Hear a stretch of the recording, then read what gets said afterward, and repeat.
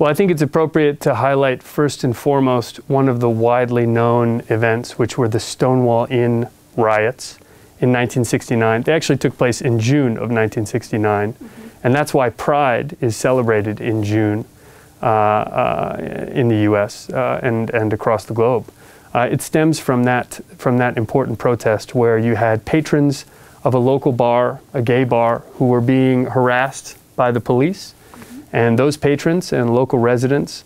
uh, stood up and protested and, and, began a series of protests, demonstrations, and even riots over the course of several days.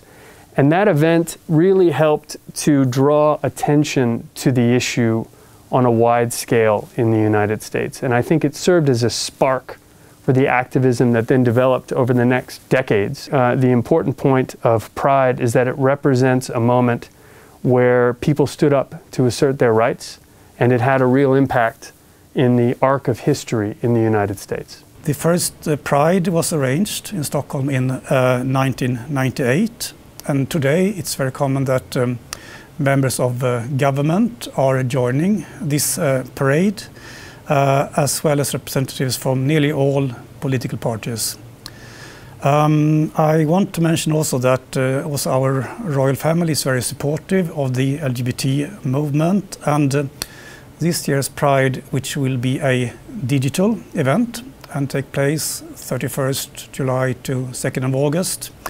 where the opening speech will be held by uh, our Crown Princess, Victoria. It would be very, very dark or sad if we were all looking at the same thing with the same lens. So there's a richness and there's a contribution to society, to economy, to politics, uh, in all aspects of life. It is very important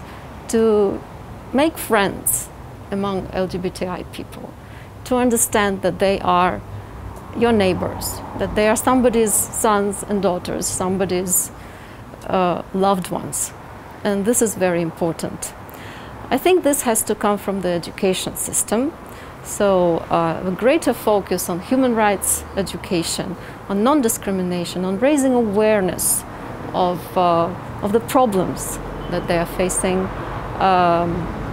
is very important. I also have a personal uh, uh, relationship to this issue because every June I remember the first time that uh, I, as a university student, was introduced to the struggle for uh, the rights of homosexuals. And I had a very good friend uh, who was a homosexual, and he started an organization in university called We the People. Mm-hmm. And uh, I just remember how impressed I was with his advocacy.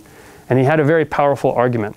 which is he went back again to the Constitution, to our most fundamental document. Mm-hmm. And the first line of the Constitution is We, the people of the United States of America, mm-hmm. in order to form a more perfect union, establish justice. Uh, and he said in his argument to those who disagreed that homosexuals should enjoy the same rights, he said, the first words are we the people, not we the heterosexual people, mm-hmm. not we the male people, but we the people which means it's about everybody. And if it's about everybody, then everybody should enjoy those protections, should enjoy those rights. And it was a powerful argument, uh, and one that I think was very persuasive to those people with whom he interacted. And I think it helped to change a lot of minds. And so uh, I'm still in contact uh, with him. And I think if back when we were students in the 1990s, if you had told him, that the Supreme Court would pass a law saying that you know states could never ban same-sex marriages, I think he would have seen that as a, a dream well beyond his grasp. Սեռական կողմնորոշման եւ գենդերային ինքնության վերաբերյալ դրույթները ամրագրված են Եվրոպայում անվտանգության եւ համագործակցության գծով Հելսինկյան համաձայնագրի 1975 թվականի եզրափակիչ ակտում եւ ՄԱԿ-ի կողմից 1948 թվականին ընդունված Մարդու իրավունքների համընդհանուր հռչակագրի Մարդու իրավունքների եւ հիմնարար ազատությունների պաշտպանության մասին Եվրոպական կոնվենցիայում, Մարդու քաղաքացիական եւ քաղաքական իրավունքների մասին միջազգային դաշնագրի, տնտեսական, սոցիալական եւ մշակութային իրավունք իրավունքների մասին միջազգային դաշնագրի եւ դրանց շրջանակներում ընդունված միջազգային համաձայնագրերի իրականացման, ինչպես նաեւ մարդու իրավունքների պաշտպանության ոլորտում Հայաստանի Հանրապետության կողմից այլ միջազգային իրավական ակտերով ստանձնած պարտավորություններում։ Պետությունը պետք է պատրաստ լինի, պատրաստական լինի բաց երկխոսություն սկսել եւ པարս խոսել խնդրի եւ խնդրի լուծման մասին։ Մենք արձանագրում ենք, որ 2018 թվականին եղել է ժողովրդավար ընտրություններ, մենք արձանագրում ենք, որ այսօրվա իշխանությունը, այսօրվա օրենսդիրը լեգիտիմ ընտրված եւ լեգիտիմ կայացած կառավարություն է բայց մենք չենք արձանագրում այն, որ նրանք բաց են այս խնդրի վերաբերյալ։ Մենք հասկանում ենք, որ ռեյտինգի կորցնելու եւ միգուցե վախ կա, հա, որ կամ միգուցե մտածում են, որ իրենց կհավասարեցնեն LGBTI մարդկանց, կրկնակի խտրականության կենտարկեն իրենց։ Բայց պետք է նաև օև օրենսդիրը եւ գործադիրը հասկանա, որ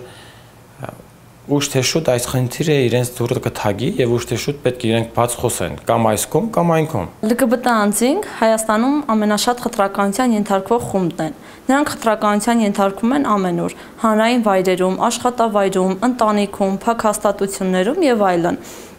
ԼԳԲՏ անձանց իրավունքների իրավիճակը Հայաստանում ամենավատն է եվրոպական մյուս երկրների համեմատ։ Improving human rights and uh, ensuring non-discrimination, equality is one of the key areas of uh, our cooperation, of our dialogue with Armenia.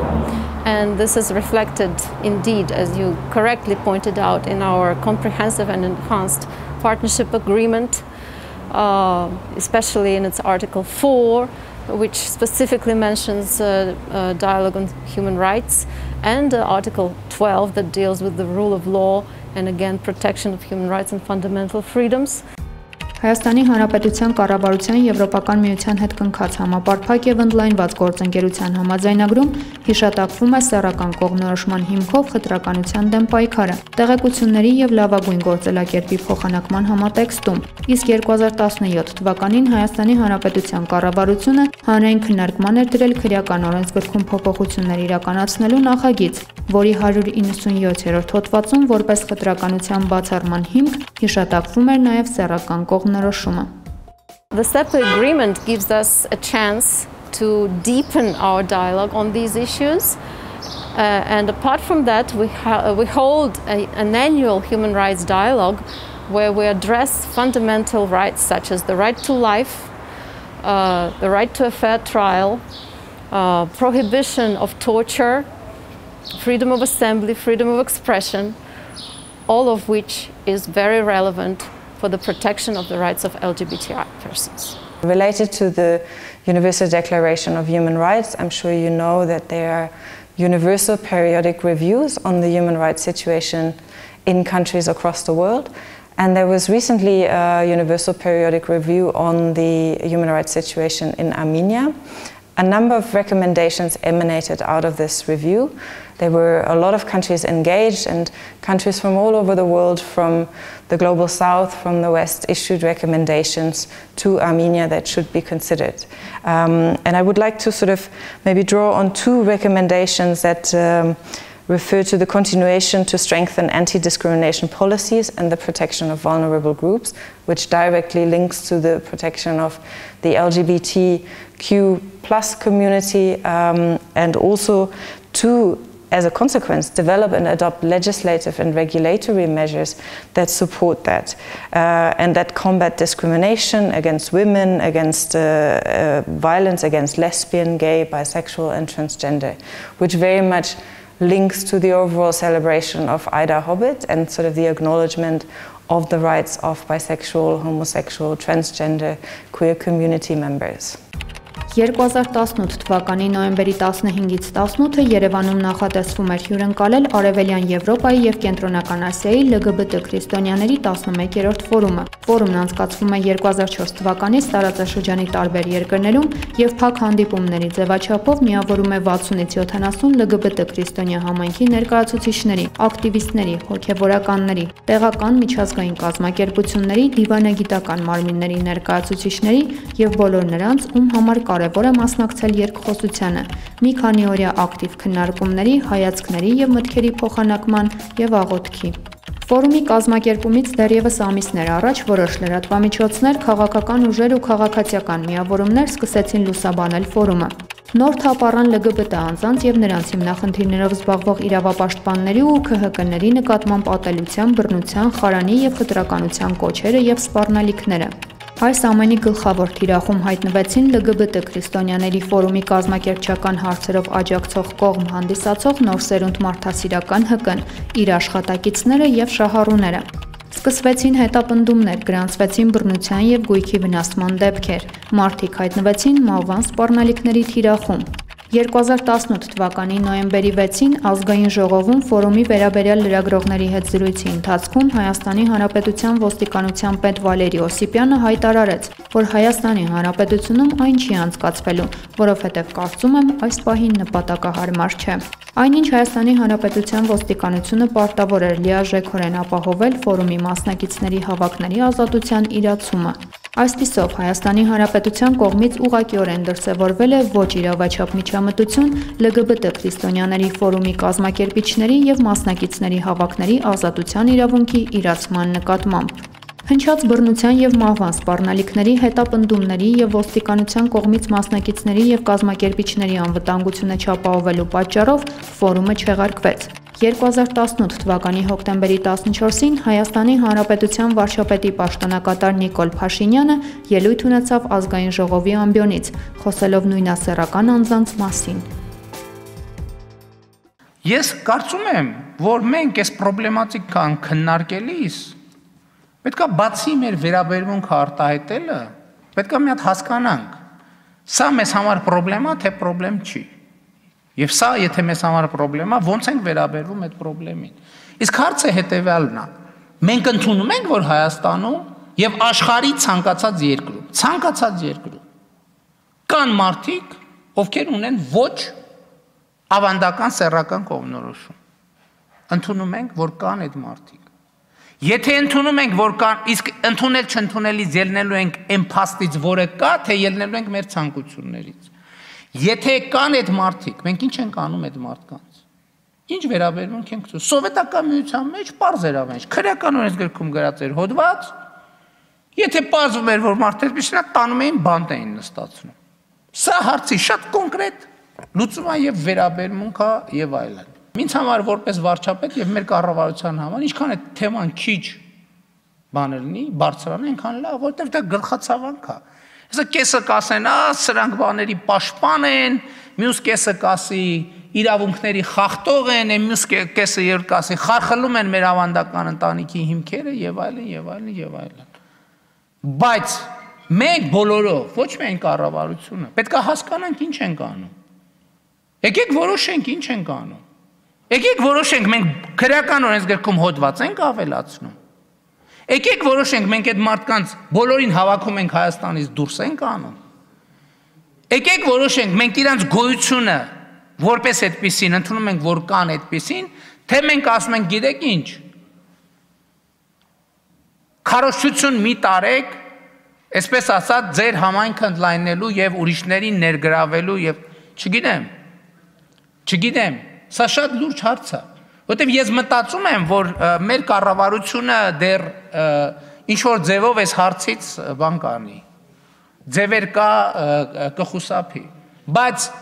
չգիտեմ 10 թե 20 թե 30 տարի հետո անխուսափելիորեն լինելու է մի կառավարություն, որ առերեսվելու է այս խնդրի հետ։ Եվ մենք այդ օր այդ կառավարությունը պետքա որոշում կայացնի, ինքը տանկերը հանում է բոլորին տրորում է գնդակահարում է, թե ինքը ճանաչում է այդ մարդկանց գոյությունը Հայաստանի Հանրապետությունում։ Դրական փոփոխությունից կարելի է ասել Հայաստանի Հանրապետության կառավարության եւ ազգային ժողովի կողմից բարձրացվող հարցեր, որի հիմքում նաև եղել են LGBT մարդկանց իրավունքները։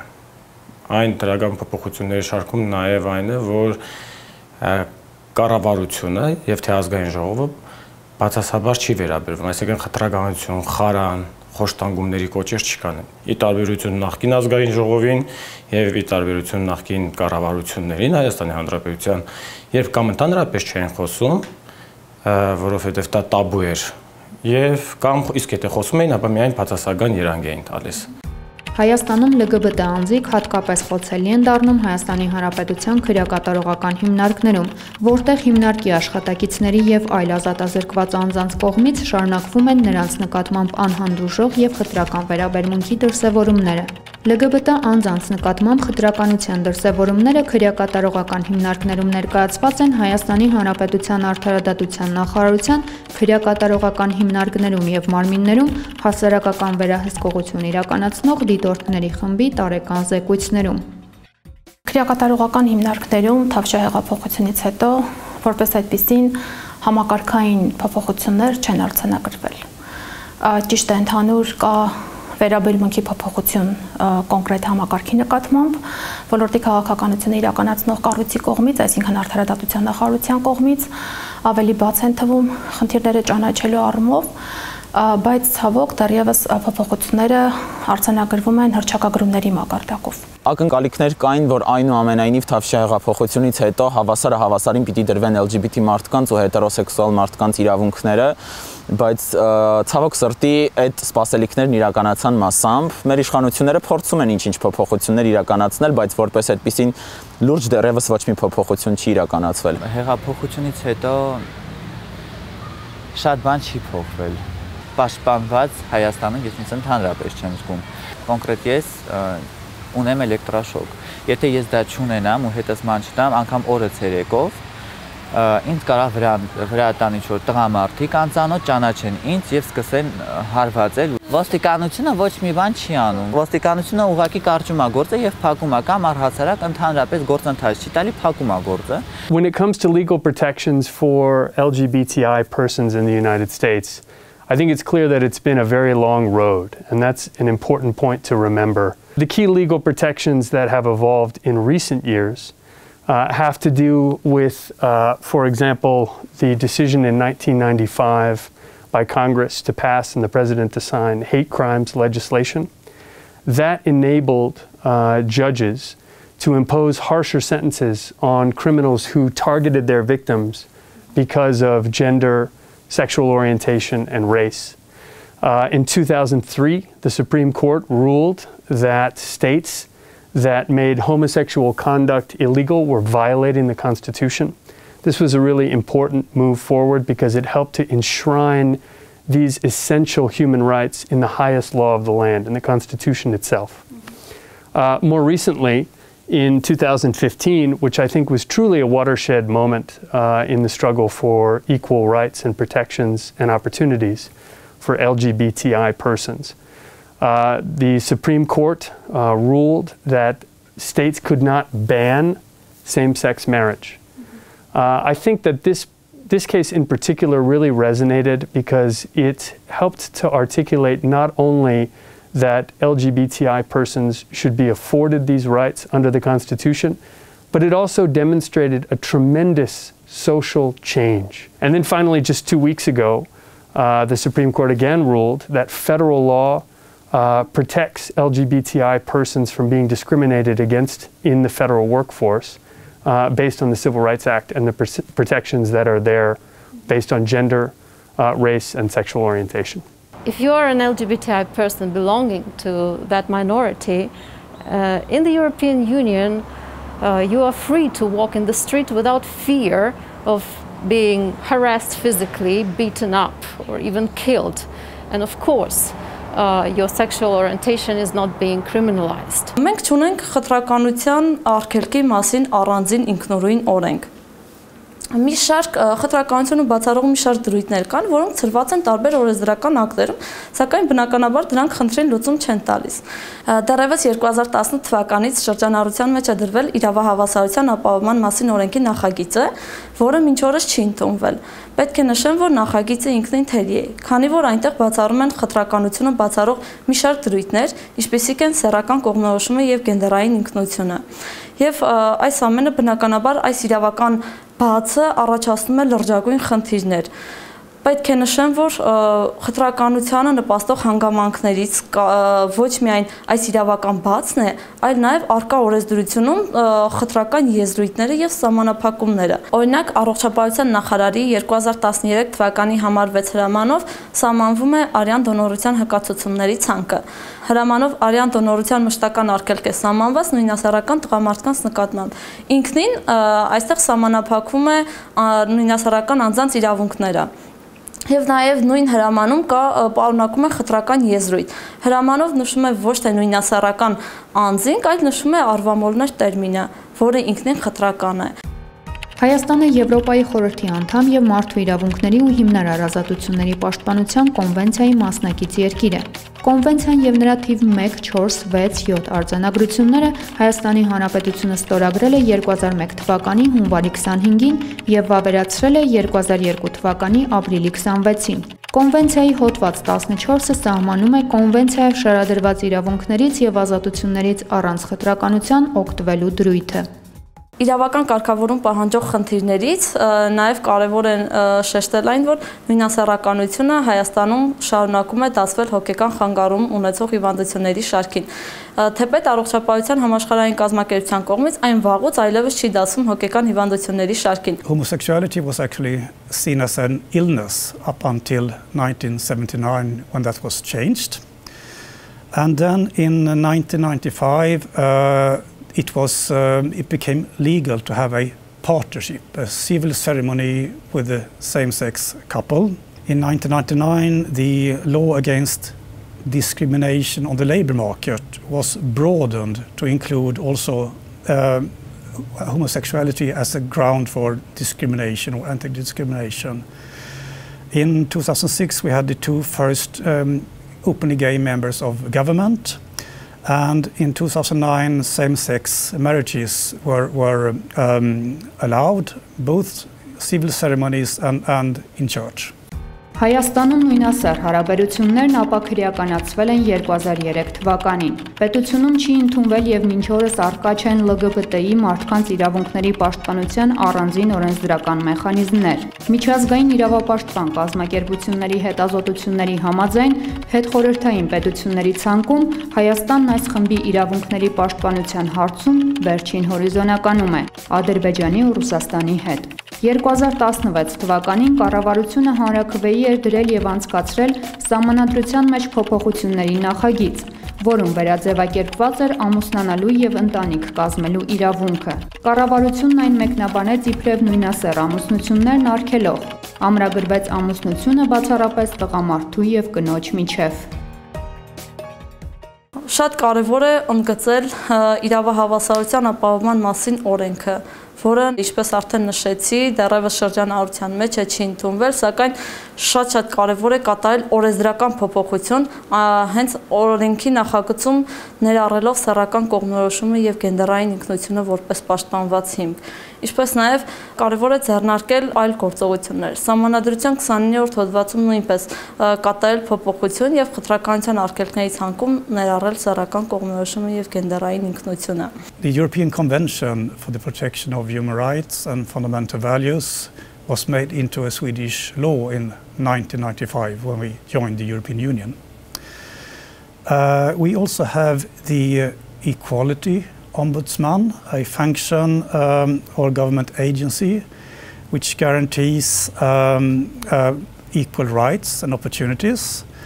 and uh, is really for combating discrimination. Շատ ու շատ անգամներ ինքս ականատես եմ եղել, որ LGBT մարդիկ չեն կարողացել հավասար օգտվել այն ծառայություններից, ինչից օգտվում են հետերոսեքսուալ մարդիկ։ Գիտեմ բժշկական հաստատություններ, որտեղ երբ որ տրանս անձը գնում է ու ուզում է ինչ-որ բժշկական ծառայություն ստանա, իրեն այնտեղ խտրականության են ենթարկում իր գենդերային ինքնության համար, բայց այնուամենայնիվ, եթե նույն LGBT մարդը կամ նույն լեսբին կամ գեյը գնում է ինչ-որ բժշկական հաստատություն, ինքը տարբերվում է իր արտաքնով ավանդական այդ կարծրացած տեսքից, այսպես ասած, նույն խտրականության ենթարկում են նաև նույնասեռ մարդիկ, որովհետև եթե նույն գեյը լինի մի փոքր տարբերվող արտակնով, մի փոքր այլ ոճով, Հայաստանում շատ-շատ հաստատությունների համար այդ շատ խորթ է ու դժվարանում են ընկալել մարդուն իր տարբերվող տեսակով։ What we still need to achieve fully and this is something, a task, an important task for Armenia, is to ensure uh, equality in the education system. It is not correct that your sexual orientation prevents you from entering a school or a university, or that you are not uh,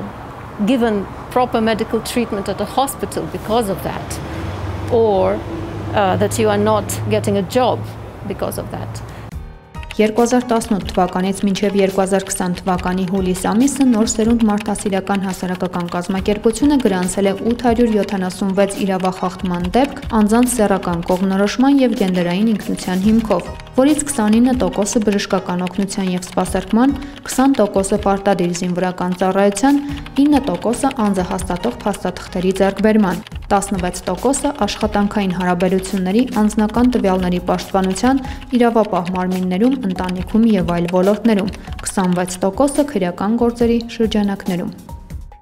Ես մասնագիտությամբ դիմահարդար եմ ինքնուս Ես տարբեր գեղեցկության սրահներ եմ գնացել, իմ աշխատանքները տեսել են, ոնց եմ ես աշխատում եւ այլն,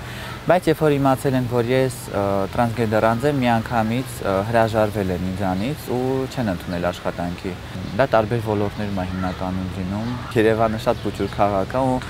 մեկը մյուսին վաղ թե ուշ մեկը իմանալու է ու հաստատ այդ ինֆորմացիան տարածվելու է։ Տրանս անձանց նկատմամբ խտրականությունը ել ավելի է խորանում, քանի որ նրանք տարբերվում են իրենց արտաքինով։ Հայաստանի Հանրապետությունում բաց է սեռափոխության ոլորտը։ Չենք կարող գտնել հա օրենք իրավական ակտ, որով կկարգավորվի սեռափոխության ոլորտը։ Մեր կազմակերպությունը մշակել է գենդերային ինքնության իրավական ճանաչման մասին օրենքի նախագիծ։ Նախագծի ընդունումը հնարավորություն կտա տրանս անձանց Հայաստանի Հանրապետությունում օրինական կարգով կատարել սեռափոխության վիրահատություն։ The LGBT movement in Sweden is very integrated today into society. There are organizations very actively promoting LGBT rights But these rights are today very broadly acknowledged and accepted. So much progress has been done over the years, but this has been a step by step process. I would like to consider a, a number of uh, major contributions that emanate from a diversity of community. And it is like uh, almost like learning the ABC to start to acknowledge that there's a diverse community, to start to accept that there's differences in people. Attitude towards uh, LGBTI also tells us something about the success and the progress on those reforms. But this has to do uh, with the values, with the attitudes, and with public perceptions in society. And this is something that doesn't change overnight. Uh, this is a process that is a dynamic process, and what we see is that the authorities are making an effort to advance this process. For example, we are very satisfied that uh, the government has adopted a new human rights strategy and a human rights action plan where you know uh, issues of equality, non-discrimination are highlighted. Հայաստանում ես ինձ պաշտպանված եմ զգում massամբ, որովհետև մարդիկ անկախ պաշտոնից, աշխատանքից ու մասնագիտությունից շարունակում են խտրական վերաբերմունք ցուցաբերել LGBT մարդկանց նկատմամբ, բայց այնուամենայնիվ չեմ կարող չփաստել, որ արդեն իսկ վերաբերմունք շատ է փոխվել համայնքի նկատմամբ, ես դա ինքս փաստում եմ ու անկախ ամեն ինչից պատրաստական եմ շարունակել ապրել այստեղ, պայքարել իմ իրավունքների եւ իմ համայնքի իրավունքների համար։